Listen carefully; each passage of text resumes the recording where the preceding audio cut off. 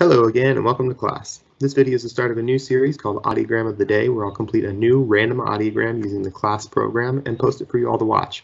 If you like this content and want to see more, please hit subscribe to support the channel. All right, here we go. Click on the audiogram designer. We're just going to make a completely random audiogram and we'll start practice. And I, I, could cheat to show the true audiogram, but then that wouldn't be very fun. So let's watch. I have no idea if the right ear is better, left ear is better. Uh, we're just going to do the testing. So we'll present at a level that they should probably respond to. And we're going down in 10 dB steps to follow the modified Hughson-Westlake procedure. When they stop responding, go up in 5 dB steps, double check the threshold and find it. I'm going to go up just by 10 from that threshold since adjacent frequencies should be pretty similar. I'll just confirm that threshold a couple times. The program settings require testing at 3 and 6K. So that's why I'm testing 3, even though there's not a big difference between the thresholds. And if you don't like that, you can toggle that setting off if you'd like.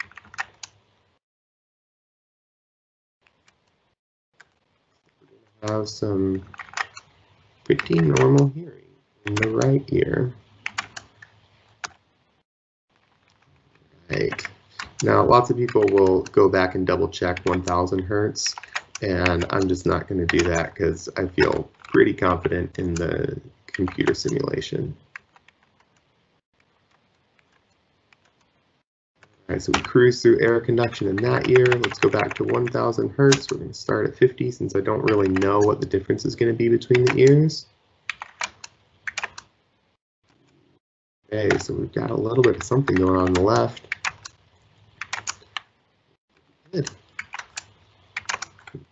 Threshold.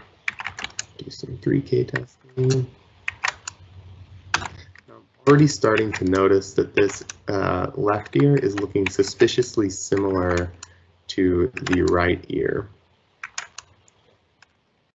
And uh, so this is something called a shadow audiogram or a shadow curve, where your thresholds uh, almost exactly mimic the non-test ear. You can kind of get the idea that maybe you're presenting the sound loud enough in the uh, test ear that it's not really being heard by the test ear, but it's loud enough that it's crossing over to the non-test ear.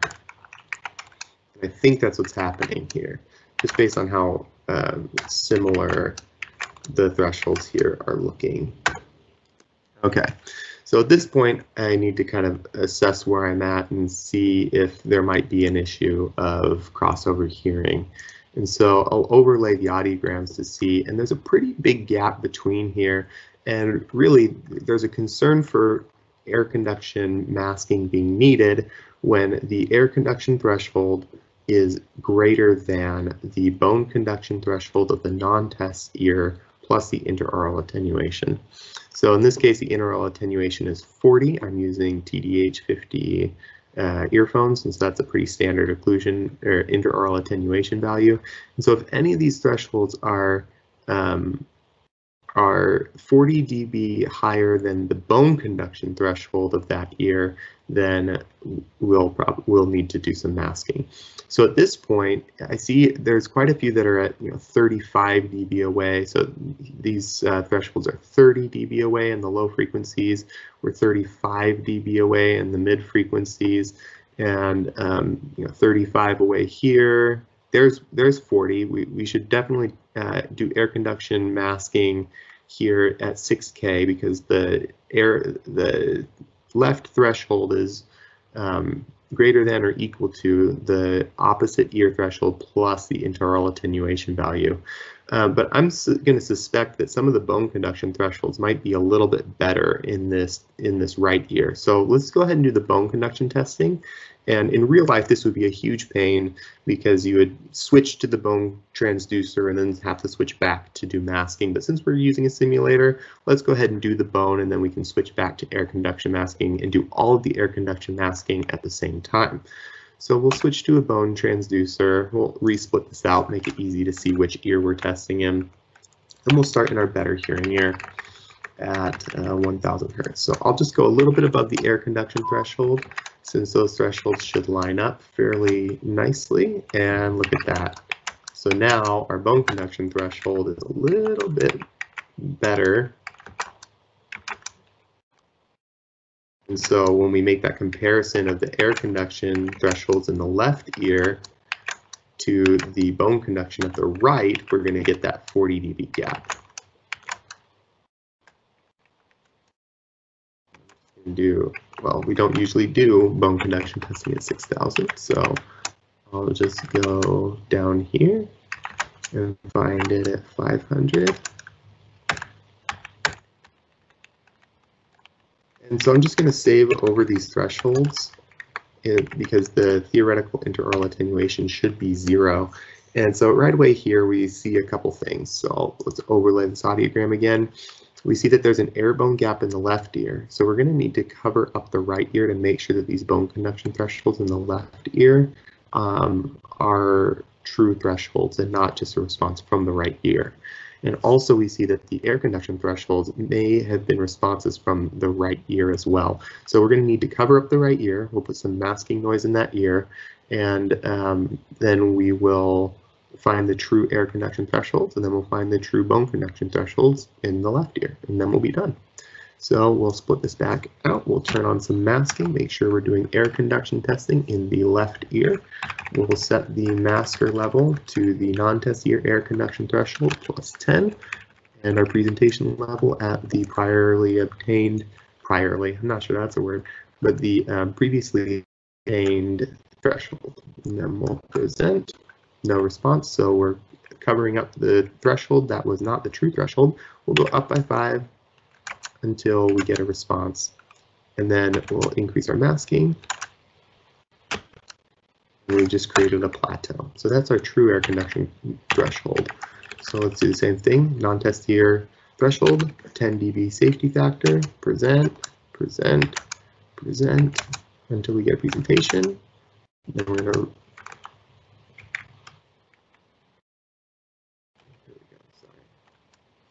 present, present, until we get our presentation. Then we'll increase the masker, no response, so we increase the presentation level until we get a plateau of responses.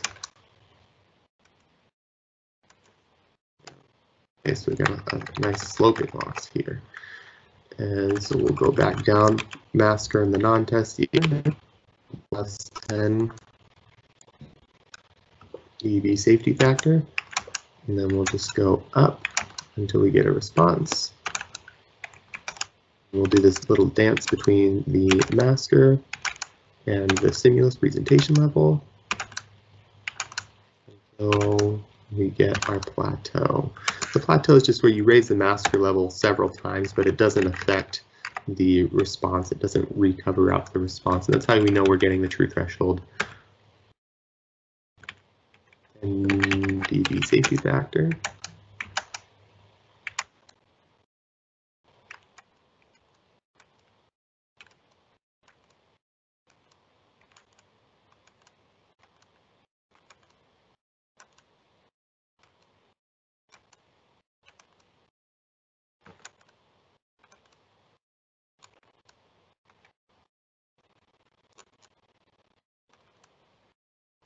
All right, so there we go.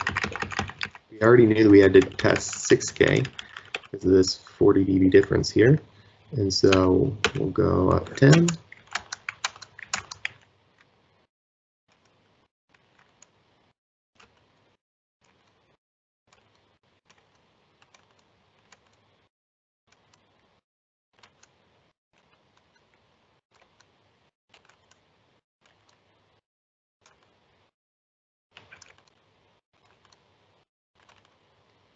I know some people are going to say you're going the snail mail way, but I, I am trying to illustrate here that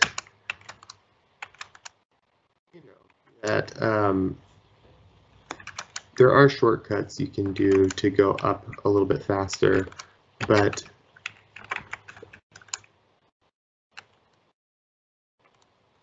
ultimately I'm just trying to show good technique and do an audiogram a day.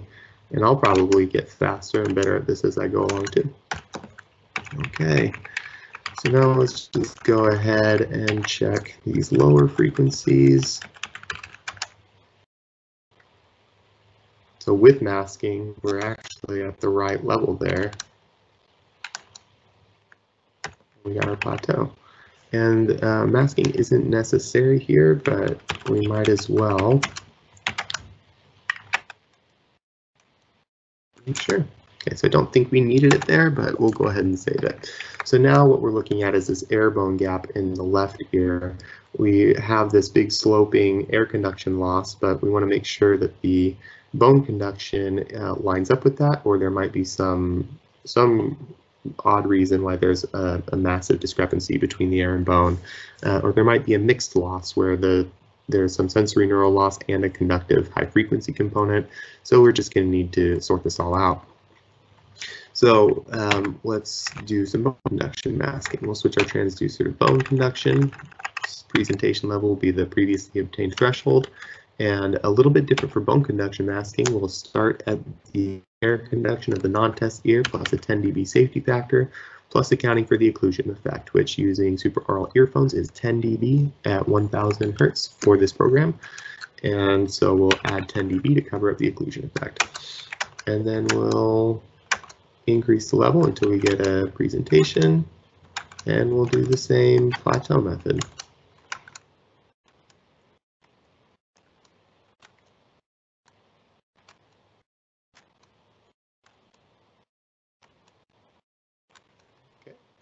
Nice plateau there. And so now let's go do some, some other frequencies.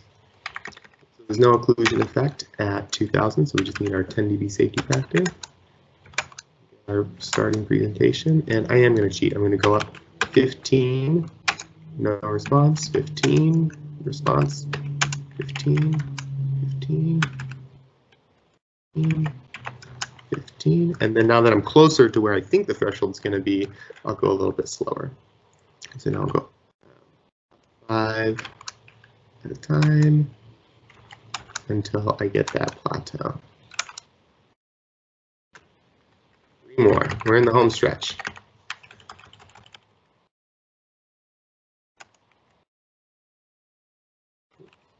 My safety factor.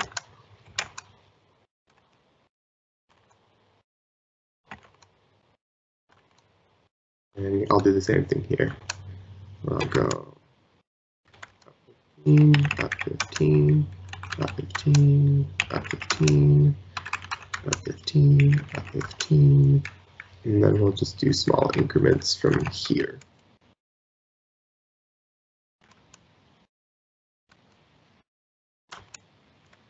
I can't go higher than this. I'm at the limits of the audiometer. And so I'll save this with an N button or this little button here as a no response.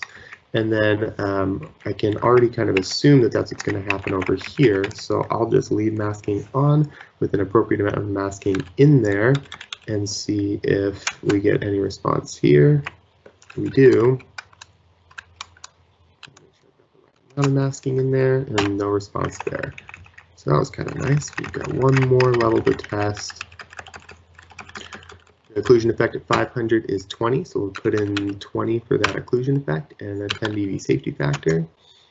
And then we'll present, we'll go until we get a response, increase the masker. And I'm already pretty close to what I think the threshold should be, so I'm just going to go up in the 5 dB steps here. Okay, there we go, we did it. So we'll turn off masking so the virtual patient isn't listening to that. Let's overlay the true audiogram to see how well I did.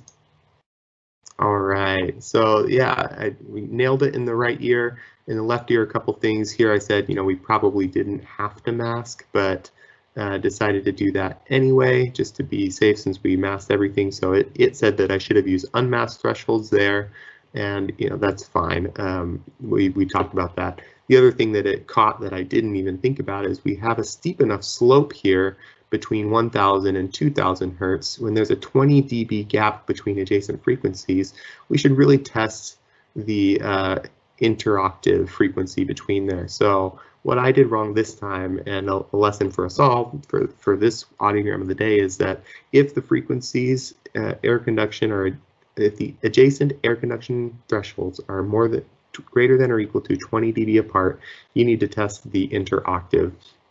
And uh, yeah, that's just something that I, I spaced on this audiogram. If you want to learn more about masking, feel free to watch a masking tutorial video on the channel in the card linked here, and don't forget to hit subscribe. Thanks. See you next time.